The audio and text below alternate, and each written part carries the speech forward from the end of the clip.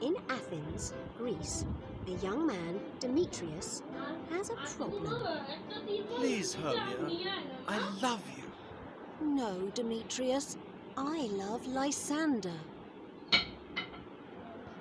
Love is never easy. Let's run away together. Helena is Hermia's friend. She loves Demetrius. Demetrius, you know Hermia is running away to the forest with Lysander. I'm going to follow them. Well, I'm going to follow you. In the forest, the fairy king Oberon wants to play a trick on Titania, his queen. Go and find a magic flower. I'll put the juice in your eyes. It will make you fall in love with the first thing you see.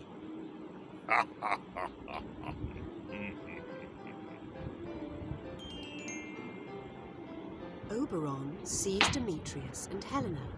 He doesn't I'm going to like the way Cortez, Oberon is Demetrius talks to Helena. Helena, go away. I don't like you.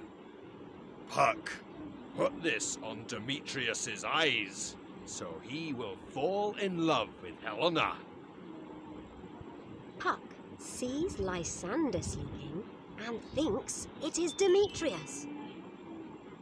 Lysander wakes up and sees Helena. Helena, I love you. He doesn't love Hermia anymore.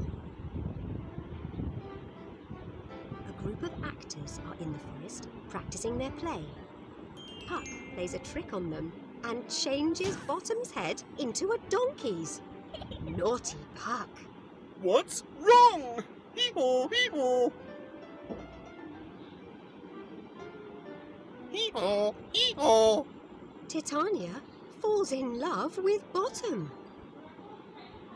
Oberon knows Puck put the juice on Lysander, not Demetrius, so he makes Demetrius fall in love with Helena. Helena, I love you. No, I love Helena.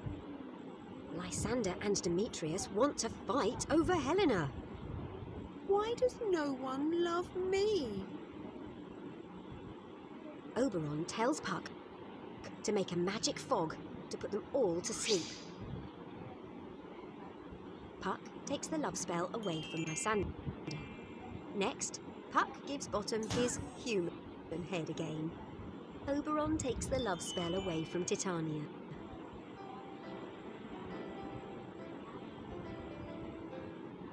In the morning, everybody wakes up.